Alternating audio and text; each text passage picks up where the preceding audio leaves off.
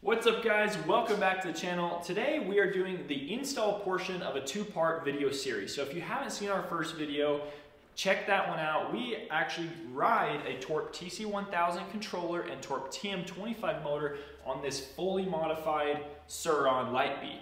So if you guys haven't seen that, go watch it, but now it is time to jump back into the future and actually see how to install this controller, how to install this motor, get them all set up in the app and talk about a lot of the details and why we really recommend running this combo. It is performing excellent. This is our buddy Sheldon's bike and we've been borrowing it for about two weeks. So we really need to get it back to him, but we've really been enjoying riding this and uh, have had a great experience with this Torp setup. So if you guys didn't see our last video, we worked with Darwin EV to get this set up. If you guys are interested in any Torp products, motors, controllers, hit him up. We do have a discount code down in the video description. Hit that subscribe button, guys. Let's jump back in the past and show you how to install these. Let's go. Okay guys, time to install our Torp TC1000 controller. As you can see, Sheldon has a very built up bike, some very nice components on this. He already has a eMoto Bros BAC 4000 controllers that he's been running for a while. He's, he's okay with it, but it's not his favorite. So we're gonna try this Torp out. We also have an upgraded 60 volt EBMX battery. This is the 53 amp hour, so this is capable of providing a lot more power than this controller was capable of providing. So we're gonna swap all this out, starting with the controller. Let's get this going. First step of business is going to be to flip our breaker right down in there if we can reach it, unplug our battery, pull our battery out, and we're going to take that controller off.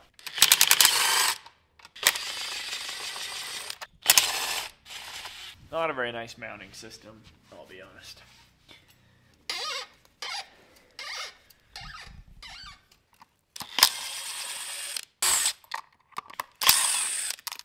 There it is.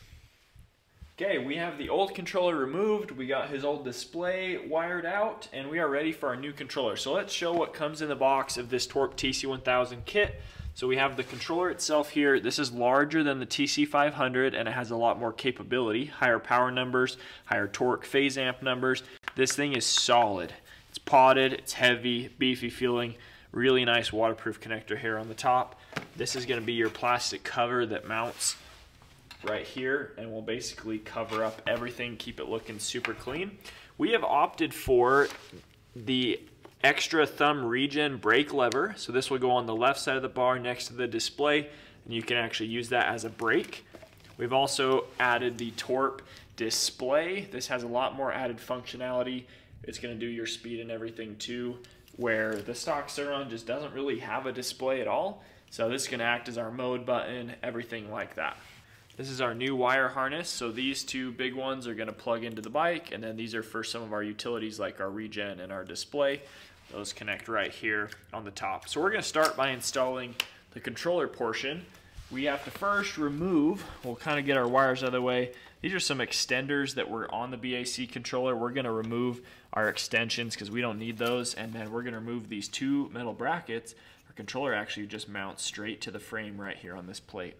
All right, it is time to mount our controller. We got lots of room to work with here. We have our brackets removed. You'll see two holes on each side, top and a bottom. We're gonna be using the top holes. We're gonna be using the two screws provided. They provide you with four. These are the two smaller screws. So you'll notice that these top holes are a little bit bigger in size than these screws, but that's okay. They're just gonna go through the hole and you're gonna mount them to these two middle of the six screws right there and it will sit totally flush just like that. Line it all up, screw them in. Okay, next up on our list is to mount our motor phase wires up to these three points. There is a B, G, and a Y for blue, green, and yellow. You'll just fasten those down. You'll be good to go. We got green right in the middle here.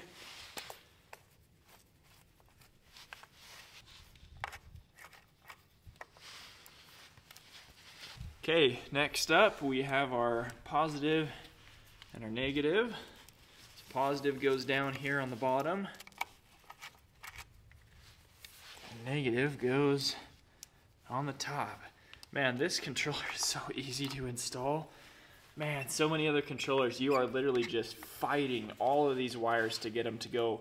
And everything is just the perfect length to go right where you need it to go. Nice job, Torp. Okay, and we'll tuck that, tuck this guy on the side. This is your other wires that come down under here, your motor sensors. To remove the, the extra wire harness that that old controller had, we had to move our breaker out of the way, but you wouldn't necessarily have to do that if you were removing your stock controller. Okay, while we have this top part opened up, you can see we have quite a bit of room in here. We're gonna make sure we get these wires routed and then we'll plug them in down below. So we don't necessarily have to mount these to our bars yet. Well, we're gonna tuck them through our fork here. So that is our display, and then our regen. Also tuck it right through our fork leg. We'll just dangle those up over the bar over here. And now we have to tuck both of these all the way down. So we're gonna have to find a way to get these all the way down to plug into our controller harness. So just keep fishing them down until they come out down below. Okay, we're gonna plug these five guys into here. Okay, we got the first one in. Let's get our second big one. That one's in. Let's get this one. It's gonna go to here. Okay, and then we have our display, which we pull this one that has a cover because you don't have to use this after this Torp display. So they cover it in case you don't use it. That snaps in and we got our regen levers, this white one. Okay, all five are connected. Now we're gonna take this guy and we're gonna connect it to the top. I believe it goes that way. Wait for, till you hear the click. It's a nice click. Okay, now your job is to tuck all of this back up in here. Make sure all your wires and routing is nice and clean. You'll get your key slot back on. That's just two screws to remove. And you have to do that to be able to route these up. And the way we're gonna mount these is your regen lever you want pretty much right next to your grip. So we'll probably end up sliding this brake a little bit and then probably putting our display over here his stock eco mode and sport mode switch is broken. That's not a problem because we'll be doing that on this, but he still needs this for his horn. Time for our cover. Now we do have an aftermarket skid plate, but it is still working just fine. We tested it, so we're gonna tuck the bottom into our skid plate. Kind of have to wiggle it down just a little bit, and then it will fit under our horn and line up right here. Two top bolts. Those you will use the two longer four millimeter Allen bolts that they come provided with. Do that, and then we're gonna fire it up. Okay, quick message from the future. If you are only installing this controller, we'll show you how to do the full setup with the app and everything, how to set up your regen throttle and your new display. Wait till later in the video for that. Right now we're gonna jump into showing you how to install the motor as well, and then we'll do all of that setup later, but if you're just doing controller, we'll still show you how to set it up. All right, it is now time to install that upgraded Torp TM25 motor. We're gonna go with pretty much the same process here as the controller. We're gonna turn our bike off and we're gonna take our battery out so that we're safe because we are gonna be disconnecting those motor phase wires from the controller. So we're gonna unplug our battery, take it out, and then we're gonna drop our skid plate and start getting the motor off. All right, first step is to get our controller cover plate off so we can access those motor phase wires. Now we're gonna undo these three, boom, boom, boom. Next up, we're gonna get our skid plate out of the way. So we got one bolt on this side, one bolt on the other side. I already took it off and saved these little pieces. Drop that out of the way. I think we can just leave it there, but we may have to take off the other two later on. Next up, we're gonna remove this plastic cover. So our first 4 mil Allen is here at the top. Next one is right here. Take both those out, put them to the side. Our cover should come out. Okay, now we need to unplug our hall sensor from the main wire harness. So we're gonna follow it from the motor right here into our wire boot. Find it, so it's this one right here. Okay, so now that is unplugged. So now we are fully disconnected from the bike apart from the, the bolts holding the motor in. Okay, next up we're to remove our motor nut. There we go. Okay, now we're to loosen all four motor bolts. You have one here, one here, and the exact same on the other side. Don't remove any of them, just loosen them. Then we're to grab this and we're to fold it down. that will allow us to literally pivot. You guys saw it's loose, so we pivoted the motor up so that we can then get this belt off. So you'll have to work it just a little bit, but your belt will come off, and we'll just kind of tuck it out of the way there. And now you can remove, I would recommend that remove these bottom two first, and you're gonna wanna have a little bit of support held on the motor. It helps to have a buddy to, to do this. You'll take off the bottom ones first, hand that over to Reed. He'll remove his bottom, and then we'll take these two top ones off, and our motor will literally just fall out. So you gotta be holding it because it's like 20 pounds. Okay, both bolts are out from the other side. This is our last bolt.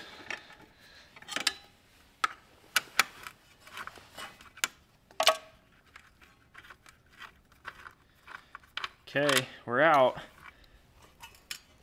You'll have a spacer here. And that piece, there's your motor. Let's put it next to this new one. And then we're gonna weigh the differences too. Kind of lines them up. The, you'll notice the phase wires are on the opposite side and you'll notice how much bigger they are because of how much power this motor is capable of running. And it is just all around bigger, beefier, heavier, heavier, heavier, heavier. Oh, that's a lot thicker. Okay, now we're gonna move this over to this. Now one thing to note is that this nut is reverse threaded. So your standard Sur-Ron nut is not, so you'll lose lefty-loosey to get it off. This one, you gotta do lefty-loosey to tighten it. if that makes sense. You're literally just gonna pull this off. This has one slot. Line the slot up, put this on. You'll see I'm threading it left backwards. Okay, at this time, you're just gonna get this nut on hand tight, and then we're gonna do the exact opposite of how we put it in, because you kinda need your belt on there, hold the brake and everything to get that snugged up enough. Now, we're gonna weigh these motors because we wanna see the actual difference in weight, and we're gonna throw in a stock Talaria Sting R motor too to just sort of compare a little bit. This is our best bag for weighing, so we're gonna put this in there and give her away. We got our scale zeroed out, you can see. That is not very heavy. Holy cow. 16. 16 pounds. So that's part of the, the big reason why the Sur-Ron is a lot lighter than other other bikes because this motor, I think, is about four pounds lighter than this Sting R motor. So let's put that, actually we can just hang this. We'll lose a tiny bit of weight for the bag, but it's light. But you'll see the difference. So that's 19.2 pounds with no bag, so it would be even just a little bit more. So that's, heavy, heavy bag. So that's three pounds. Then this motor is heavier, but it's also by far the most capable.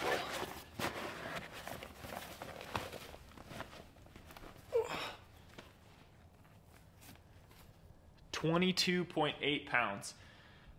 So we're gaining 8 pounds heavier. uh, 6.8 pounds. 6.8 6.8 pounds heavier. So that's a big difference, you guys. That's gonna, we're adding a bit of weight to this Sur-Ron here. Six pounds, it's a lot. All right, you guys, time to tighten the belt. So we're gonna hold the skid plate out of the way so it's not in the way. Lance, hold that. Get yourself useful. And we're gonna use this thing, spacer, get the belt real tight in there. Oh, that's too tight. Up one. That looks pretty good. And then we're going to tighten these bottom bolts.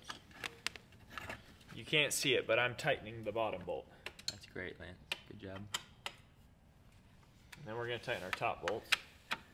Okay. Here you go. They're tight enough. We'll tighten them more later. Alright, we just got our motor tightened down. You do not want your belt crazy tight. You want it to be able to move at least a little bit. This is pretty dang good. Whatever you do, do not forget to tighten your motor bolt. Remember, it's reverse threaded, so go backwards.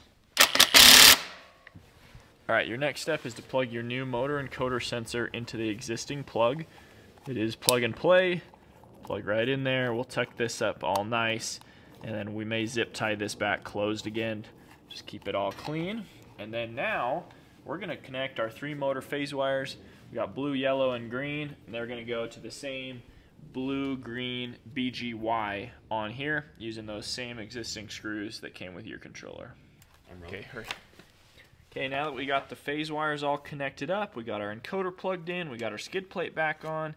Now we're just trying to make a little bit of room in our, because this is an aftermarket skid plate, and then we can tuck our Torp TC1000 cover back on. Okay, those are bent out of the way just a little bit. Get that. Let's line up this wire up here. And we'll just put our two top screws in, and then we'll put our battery back in. Go ride it.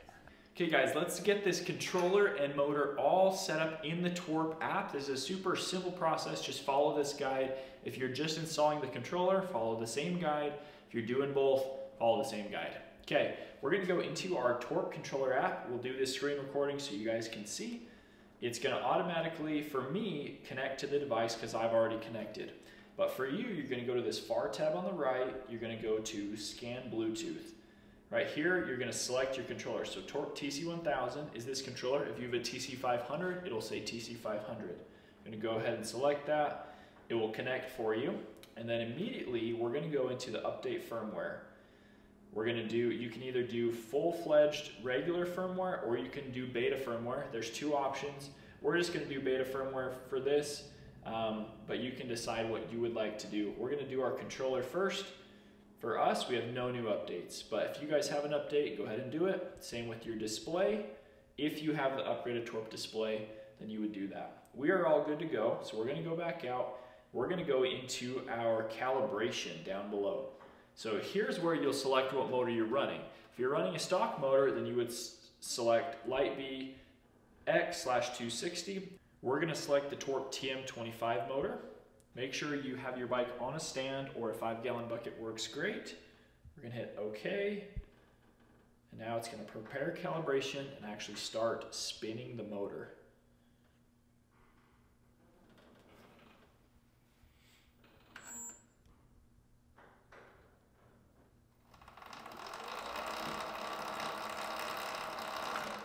Motor's gonna run forwards, backwards, do some jolts, make some weird sounds.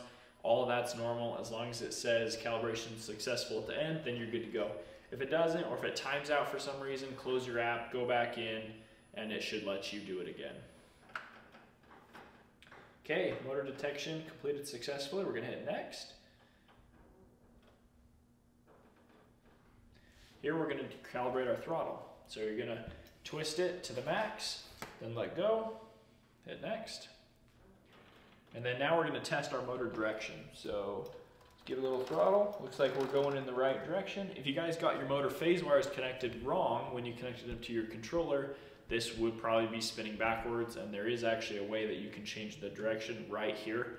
So if you mess that up, that's fine. You can switch it right here in the app and you'll have no issues. So we're gonna go hit finish and save and then we are good. So now a couple things we can do in this page. You can change your speed units between miles per hour, kilometers, temperature, Fahrenheit, Celsius, so on.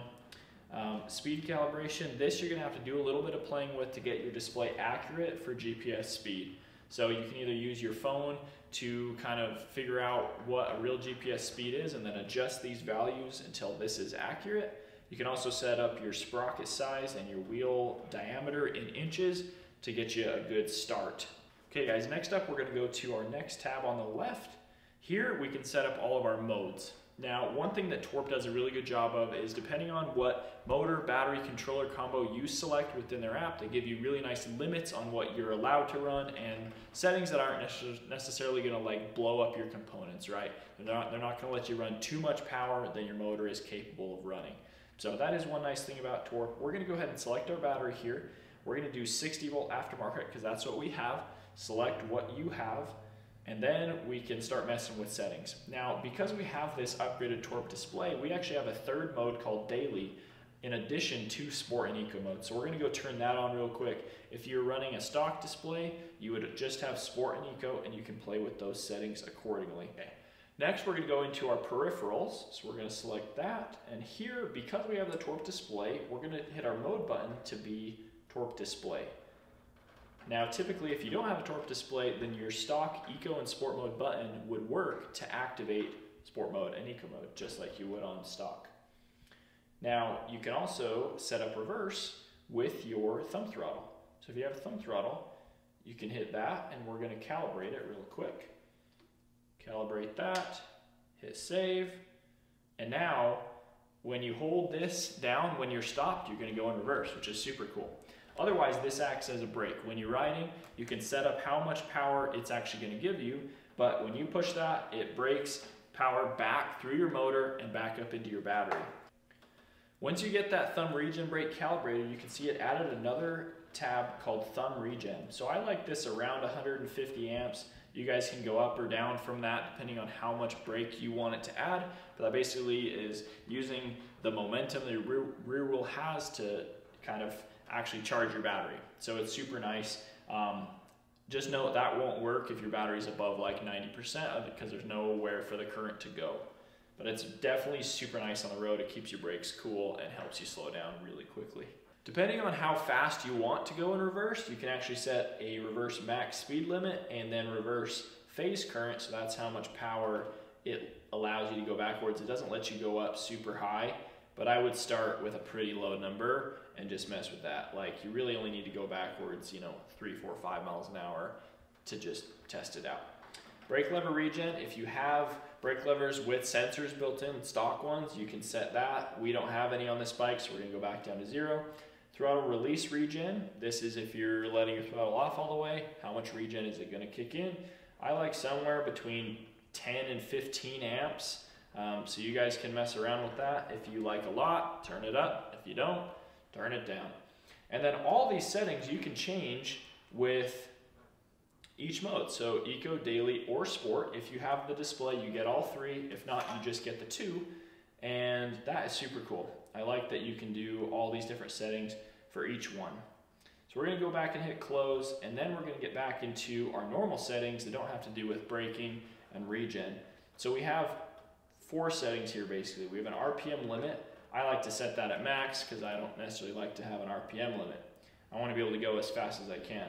Battery current, this is gonna be a direct correlation to how much power you're running on the bike in kilowatts. So you will be able to turn this up as high as your battery will let you go. So figure out what your max battery amps or your max kilowatts that your battery is rated to run. So you would times your battery voltage, so in this case 60 times amps to get kilowatts. So 60 times 200 is roughly 12 kilowatts. It gives you a nice estimate there. So just figure out what your battery is able of running and do that. Your motor current is gonna be your phase amps. So this is how much torque your bike will have. Um, anywhere above 500 is going to be more than you ever felt on your stock motor. So you'll have a lot of front end lift. This motor is capable of running 700. So we're going to set this up. I'm going to be about 550 phase amps. We're going to run 17 kilowatts on this bike, unlimited RPM. Field weakening, we're going to turn up to 150 amps, which is the max that it lets you run. This is a basically a direct correlation with top speed. The higher you set this setting, the more top speed you're gonna get in this case. A really quick description of field weakening is when you when a brushless motor is spinning, it creates a magnetic field that eventually, the faster RPMs that motor spins, then the stronger the magnetic field becomes. Hence, at a certain point, it starts to limit and want to slow down the motor. Field weakening is another set of current that goes directed into the motor to lower the magnetic field that is trying to slow down your motor and allows it to keep spinning up faster and faster. So that's the basic explanation.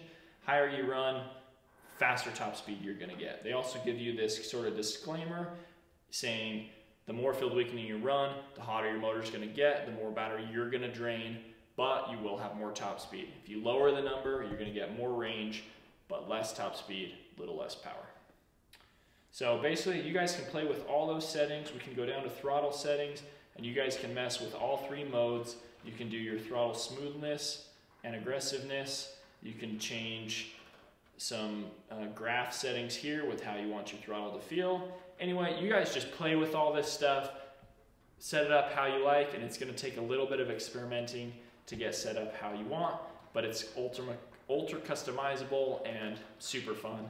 All right, you guys, we hope that you got your bike all set up and now you guys can head out on the road, head out on the trail, experiment with the settings that you like, And if you haven't purchased these yet and you're still thinking you might want to, hit up Adam at Darwin EV. Awesome company. He will get you set up, taken care of, and use our discount code link in the description. And thanks for watching, you guys. We hope you enjoy this video. Please hit that subscribe button. We'll catch you next time. See ya.